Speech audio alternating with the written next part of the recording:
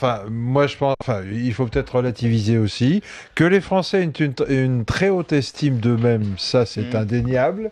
Ça peut ne pas plaire, c'est une attitude qui peut être agaçante et qui peut générer après ce genre d'excès.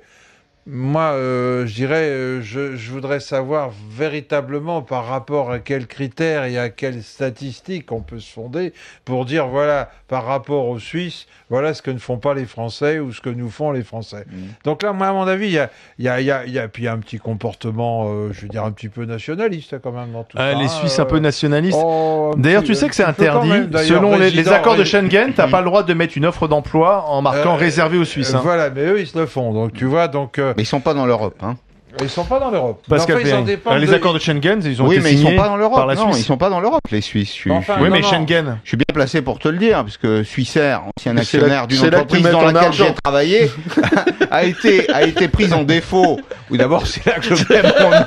Oui, t'es bien placé, t'es bien placé pour en parler. Non, mais- Ah, mais voilà. Si Jérôme Cahuzac veut nous appeler, il peut hein, au 32 16 il, également. il y a, il, il y a, il y a, c'est vrai, en France, une, une espèce de condescendance à, à l'égard du reste du monde. C'est-à-dire que ça, c'est les, c'est les résidus de l'empire, c'est les confettis de l'empire. On pense qu'on est un grand pays dominateur, que nos idées sont les idées fondatrices de l'humanité moderne, etc., etc. Bon, Est-ce qu'il y a, du Suisses- vrai, est-ce qu'il y a de- du vrai dans ce que dit cette responsable, oui, notamment du recrutement un peu de vrai, mais en même a- temps, a- nous avons tous des qualités et des défauts.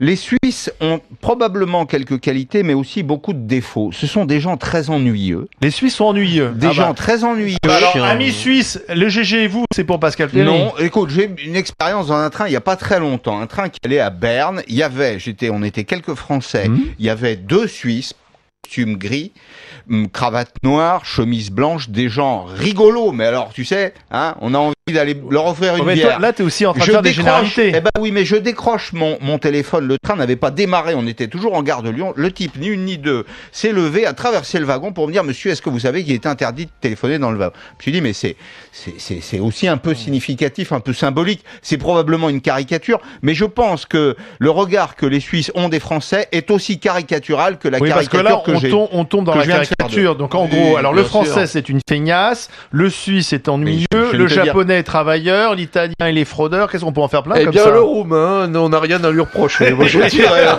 grosso Le modo. roumain hein. Grand chapardeur. voyageur. grand voyageur. Grand voyageur, le hein. roumain. Laurent est avec nous, 32-16. Bonjour, Laurent. Oui, bonjour, bonjour à tous.